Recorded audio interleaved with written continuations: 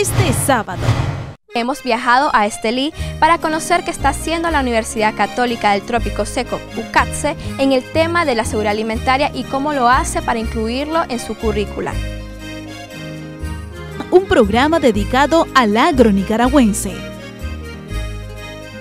La sanidad es un punto muy importante cuando vamos a tratar con animales, en el caso de la vaca y aquí se produce lo que es la leche.